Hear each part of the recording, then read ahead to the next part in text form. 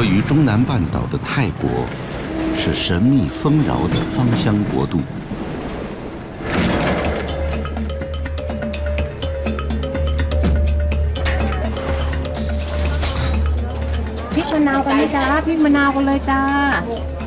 琳琅满目的香草和香料，在大小集市随处可见。人们的生活离不开这些芳香植物。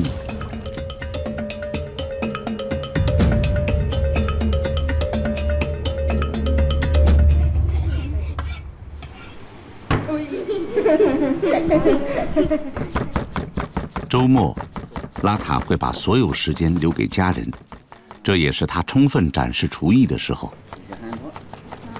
十五年前，拉塔结识了澳大利亚人凯姆。结婚后，他们搬到苏梅岛生活，有三个女儿。准备工序繁复，需要全家人一起参与。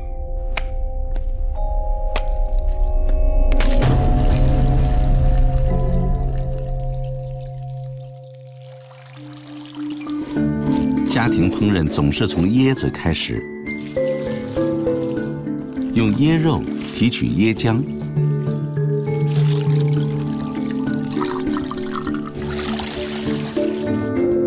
静置十分钟。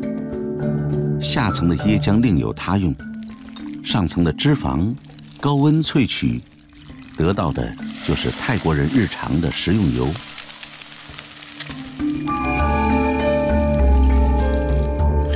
多种香料制成的调味品叫咖喱。泰国咖喱酸辣甜香，最突出的特点是对新鲜香草的精妙运用。研磨香味分子碰撞交融，构成味觉和嗅觉的迷宫。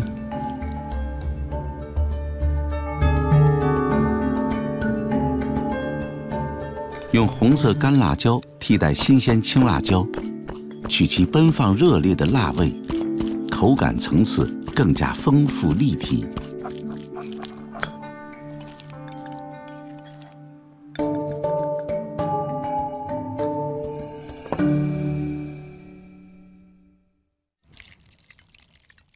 用椰油爆香绿咖喱，放入鸡块。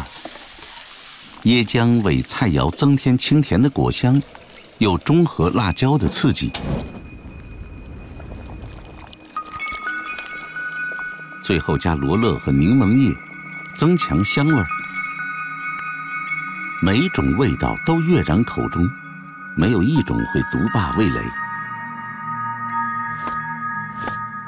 香茅草常在泰国料理中左右逢源。清新温和的柠檬香气，不费吹灰之力，就能让青柠的酸涩和红咖喱的激烈携起手来。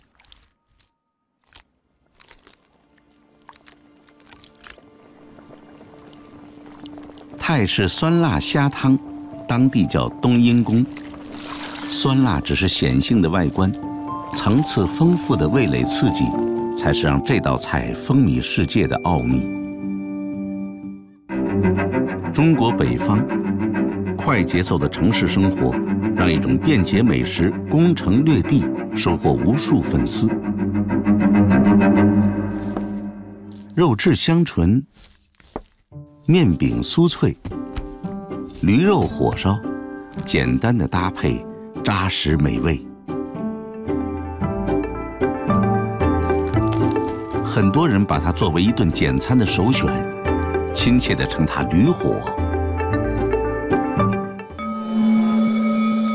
秋分时节，八角迎来收获。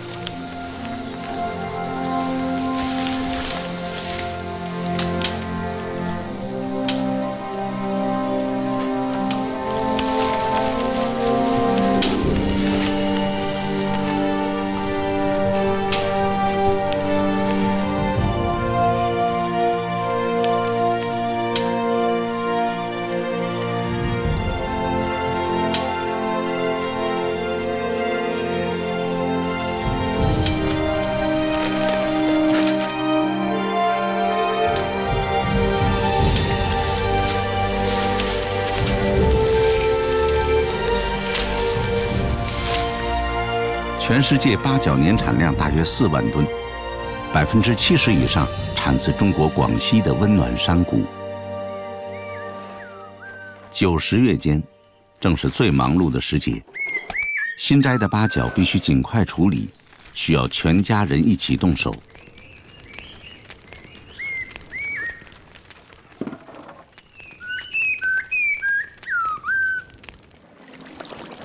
煮八角，又称杀青，时间的掌控至关重要。太短，晾晒后发黑；太长，会损失芳香成分。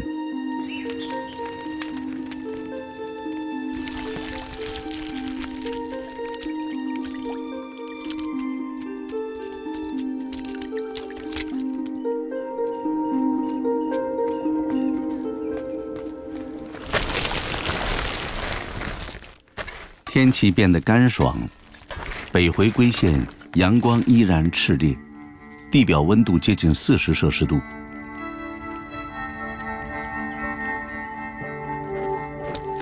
果壳中的八角茴香油开始凝缩，这种物质不仅独具芳香，还有浓烈的甜味，甜度达食用糖的十三倍。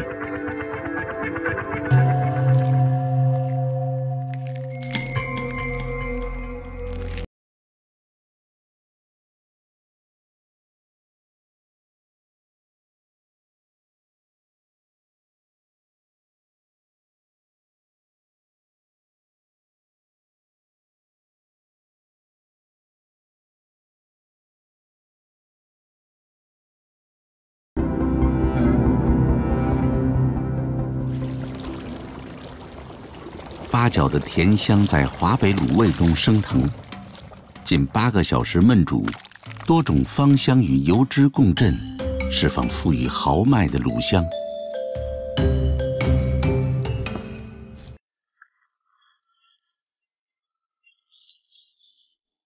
火烧是驴肉的最佳搭配。这种起酥的烤饼以及滚圆和长条的外形。在河北被分为保定与河间两派，无论哪个派系，无不表皮焦脆，内里松软。火烧包容被众多香料再造的驴肉，喜爱的人把各种溢美之词送给他。